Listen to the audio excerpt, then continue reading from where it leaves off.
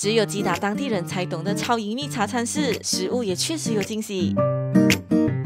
这间蓝蓝茶餐室的前门大多的时候都是关着的，需要从 Mix 这个店旁边的小巷子，也就是后门进去。一进门，吸引到我的是充满人间烟火气的厨房，有散落在各角落的厨具，也有乱中有序的食材和调味品，让我不禁回想起以前我外公外婆经营过比店的感觉。之后直接在厨房跟老板娘熬的食物。第一次来的话呢，他就介绍我们点他的招牌干鸡和芥蓝炒咸鱼。由于炒菜切菜都是他自己一手包办，所以人多的话需要等上一阵子，尤其是周末时段。点好。菜后就进去找位置坐下，中间有一间间的包厢，再继续往前走就是茶餐室的主厅，前门也种满了老板娘喜欢的花花草草，一眼望去，它就是最突出的啦。这道干鸡不愧是这里的招牌菜，很特别的是有配上炸姜丝和蒜片，脆中带点苦味，鸡肉是咸中带点焦香味，味道完美的融合一起，芥蓝也炒得很软，鲜香入味。我点了两道菜，两个白饭，再加两杯水，一共是二十四块。老板娘说她入行四十年，今年也六十岁了，这间店铺经营了十八年，每天都有不少熟客光顾，可能有人觉得厨房有点脏乱，但我个人认为这就是他的地盘，他的战场。要吃你就乖乖进去做，不吃你大可以掉头走掉。我是 Snow 小雪，下个影片再带你继续吃。